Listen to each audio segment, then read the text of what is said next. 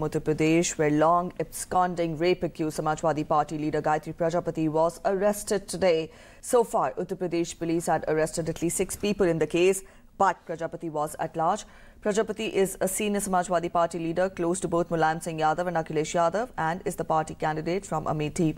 To get more on that, we are joined in by our correspondent Pankaj Pandey. Pankaj, first of all, give us the details.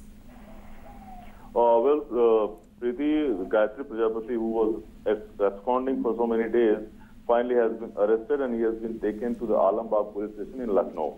So this information we are getting right now. Uh, Where from, has he been arrested from, Pankaj? Sorry, sorry, Preeti, I couldn't hear. Where has he been arrested from?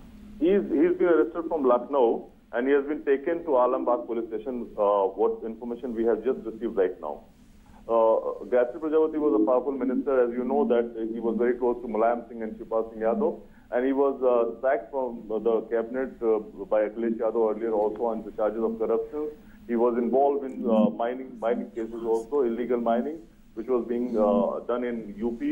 Uh, so he he was a very I mean very uh, uh, infamous for so many things and was very close, considered to be very close to Shivpal and uh, and Mulayam Singh Yadav. And after the uh, Supreme Court ordered uh, uh, FIR to be registered against him under the, the section IPC section 376 mm-hmm. and POCSO Act uh, on a complaint of a woman who uh, she belongs to a Chitpur district. And after that, the FIR was registered, and he was uh, since then he was absconding. He fought election also, and after elections, he was not traceable. Finally, today, what information we have just received, Naidor, he has been arrested by the police, Lucknow police, and taken to the Alambagh police station. All right, Pankaj. Um, thank you so much for joining us with those details. Our correspondent Pankaj Pandey uh, joining us and giving us details uh, that Gayatri Prajapati has been nabbed from his residence in Lucknow and he has been taken to Alampur jail. We'll keep you updated with other developments as well.